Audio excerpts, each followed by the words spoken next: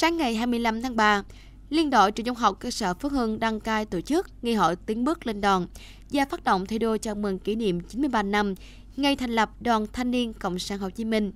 Ngày 26 tháng 3 năm 1931, ngày 26 tháng 3 năm 2024. Ngày hội tiến bước lên đòn là hoạt động thiết thực, thể hiện niềm tự hào của lớp đội viên thiếu nhi, niềm vinh quang của đội thiếu niên tiền phong Hồ Chí Minh tạo không khí thi đua sôi nổi để các em rèn luyện sức khỏe, vươn lên trong học tập, phát huy tinh thần đoàn kết, xứng đáng là đội viên tốt, thiếu nhiên ngoan, học sinh phát triển toàn diện để tiến lên đòn.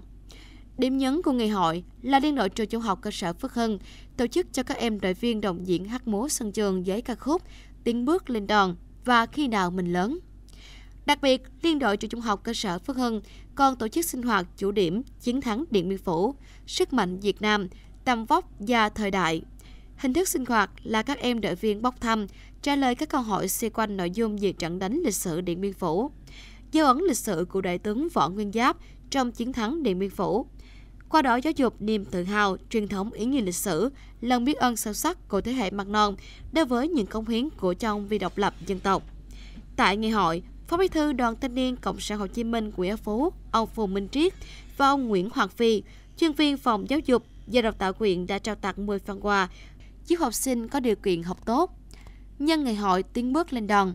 Đoàn Thanh niên Cộng sản Hồ Chí Minh xã Phước Hưng trao những phần quà lưu niệm chúc trường trung học cơ sở Phước Hưng đạt nhiều thắng lợi.